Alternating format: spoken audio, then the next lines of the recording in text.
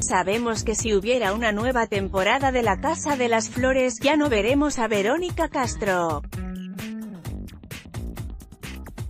Y no es porque ya no haya futuro para su personaje de Virginia, simplemente Laberito ya no quiere hacerlo. Eso no significa que su experiencia en esta serie de Netflix haya sido mala. Al contrario, para ella representó un aprendizaje en ciertas cosas de la vida. Yo pensaba que era otra historia, muchas de las cosas que vienen yo no estoy de acuerdo, dice entre risas la actriz en una charla con Manolo Caro. La Casa de las Flores es una serie con tintes de melodrama. Virginia de la Mora, es una mujer que se empeña en mostrar que tiene una familia perfecta.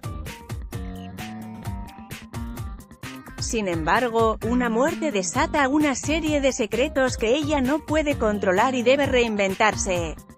Y ahora que lo estoy haciendo, me estoy divirtiendo que es lo peor.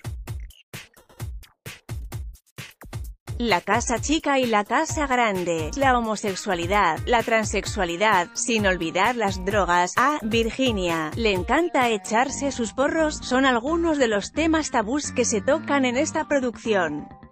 Y aunque lo queramos negar, son tan comunes en las familias mexicanas. Un gran regreso, para mí ha sido un aprendizaje llegar aquí, tiene una manera de ser que me sorprende cuando llego a trabajar, comenta Lavero, la Casa de las Flores representa el regreso de esta actriz a la pantalla chica y en una plataforma distinta a la televisión tradicional. Llegaba como en una intensa tipo telenovela, y, Manolo, decía, no aquí te vas a reír. Por su parte, Manolo Caro asegura que el papel de Virginia es uno de los personajes más complejos que he escrito porque es una mujer que se tiene que reinventar. Así que tanto el personaje y la actriz vivieron toda una transformación en esta primera temporada.